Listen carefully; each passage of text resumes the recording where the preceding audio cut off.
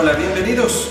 Vamos a conversar en esta oportunidad que nos da el microvideo, que nos da nuestra materia de teoría de la comunicación, sobre lo que tienen que ver los trabajos expresivos, los trabajos receptivos y cómo las señales funcionan eh, para intercambiar estos diálogos.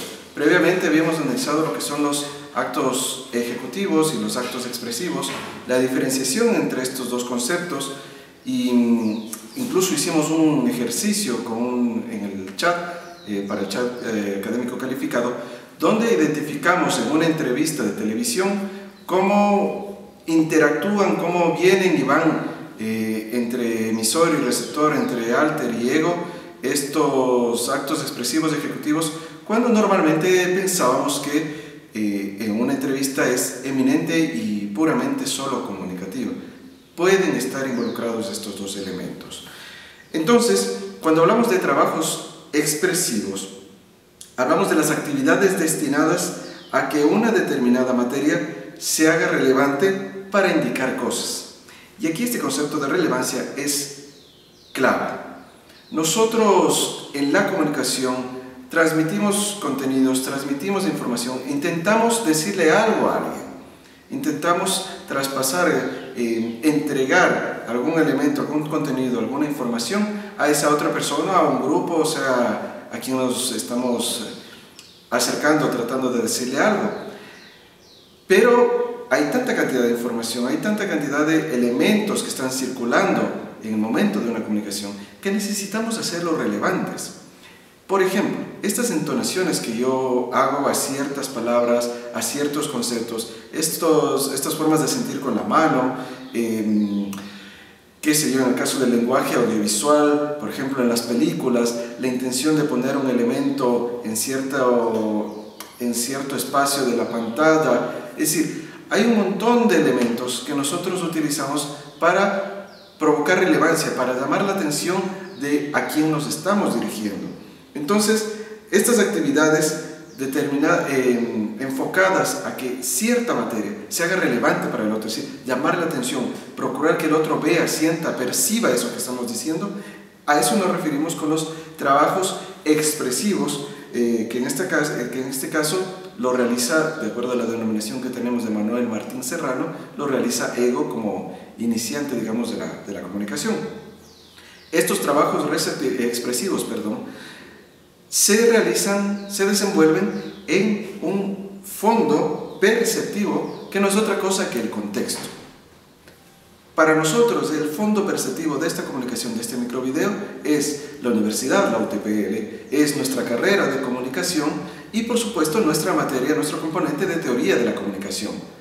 Si ustedes no estuvieran, no estuviesen matriculados en esta carrera, no estuvieran utilizando, estudiando, perdón, eh, la carrera de comunicación. Estos conceptos, si lo viera cualquier otra persona, tal vez le resultaría extraño, complicado, complejo, porque no está en el contexto, no está en el fondo perceptivo para poder tener mejor comprensión de estas materias expresivas que estoy elaborando en este momento en este microvideo. Para eso, nosotros en la comunicación utilizamos una, un elemento, una herramienta un concepto fundamental que son las señales, porque estos son vehículos de información. ¿Cómo trasladamos la información? Eh, en este caso la información académica, los contenidos informativos académicos de, nuestra materia si ustedes, a través de señales. ¿Cuáles son las señales en este caso? Tanto la señal de, de, nuestros, de nuestro lenguaje, el lenguaje verbal, el lenguaje gestual, pero además el lenguaje audiovisual, todo lo que implica la multimedia. Todo, todo eso estamos convirtiendo en señales para poder trasladar hacia ustedes en este ejercicio del microvideo. Entonces las señales como vehículos de información transmiten el trabajo expresivo, en este caso yo estoy haciendo el papel de ego y ustedes el papel de alter eh, el momento que están viendo este microvideo. Eh, recordemos que las señales, eh, con las señales más bien, siempre nos estamos refiriendo a algo. Las señales están son construcciones de algo que queremos transmitir y algo que queremos decir. En este momento yo estoy tratando de eh, hablar en la medida de lo posible, explicarles, ampliarles eh, ciertos contenidos, ciertos conceptos de nuestra materia. Entonces estoy intentando referirme a los conceptos, a las teorías, y esto en un contexto eh, comprendidos por, por, ambas partes. Ubicados nuevamente en el ejemplo del microvideo que estamos viendo en este momento, los trabajos receptivos que estarían realizando en este momento ustedes es cuando Alter, el papel que desempeñan ustedes, es capaz de percibir, de reconocer y de interpretar las señales que yo estoy ejecutando.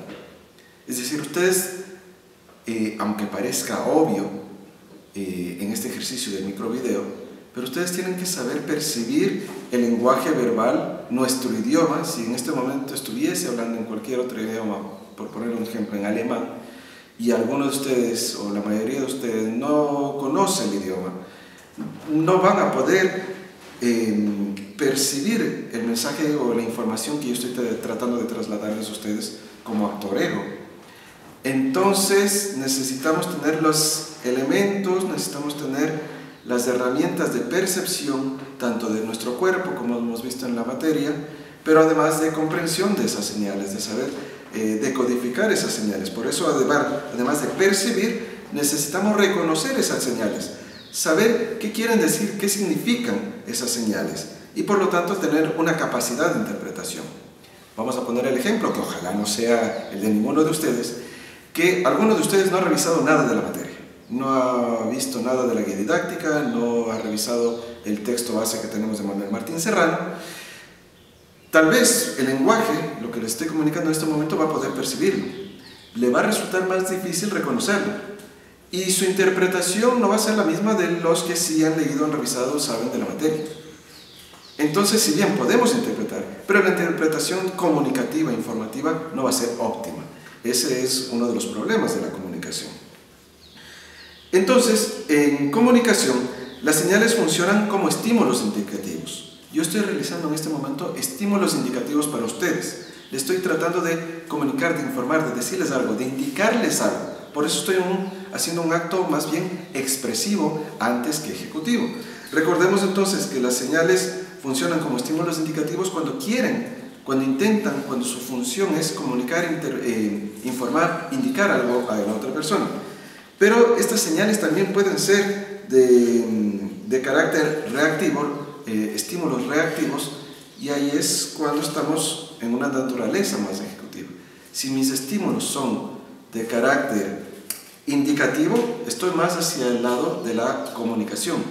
Si es que mis estímulos son reactivos como ego en la comunicación, la intención pues será más ejecutiva, que es eh, lo que hemos revisado. Por eso nuevamente hago el énfasis en esta idea, en el concepto de que las señales son, o más bien con las señales nos referimos a algo. Siempre estamos en función de un contexto social, económico, cultural, que es el que nos determina. La comunicación actúa en ese entorno, en ese contexto, en ese medio social, en ese medio cultural. No podemos abstraernos. Por eso es muy difícil para nosotros poder referirnos a cosas del pasado sin entender todo lo que sucedía en ese pasado. Si intentamos comprender el pasado con las herramientas, con el entorno, con el contexto del presente, seguramente estaremos eh, equivocándonos en esas interpretaciones. Miren lo complejo entonces, miren lo, lo a la vez rico y complejo de este fenómeno de la comunicación que donde interactúan, donde intervienen muchísimos elementos, muchísimas situaciones para poder analizarlo. Por eso yo les recomiendo a ustedes, eh, revisando los ejercicios que han realizado en la evaluación a distancia, que procuren que los análisis tomen en cuenta estos contextos. Cuando vamos a analizar una entrevista, una noticia, un canal, de tele, un canal o un medio informativo, un medio de comunicación, cuando vamos a revisar las redes sociales, analizarlas, reflexionarlas, pensarlas, mirar todos estos elementos, qué interés tiene ego el momento de transmitir una señal, qué es lo que quiere lograr, hacia dónde quiere lograr, cuál es el papel que está desempeñando, qué trabajos receptivos y cómo, está ejecutando esos trabajos eh, receptivos Alter, sea quien sea Alter. Bueno, espero haber sido, ojalá, bastante claro en esta explicación y que de alguna manera les sirva esta información para reforzar eh, los conocimientos de nuestra materia. Seguimos, estamos terminando este primer bimestre, nos encontramos ya en el segundo bimestre en estos microvideos con más con más de nuestra materia. Siempre adelante, siempre con ganas, con, con nieque, con espíritu positivo y siempre con pensamiento crítico. Muchísimas gracias.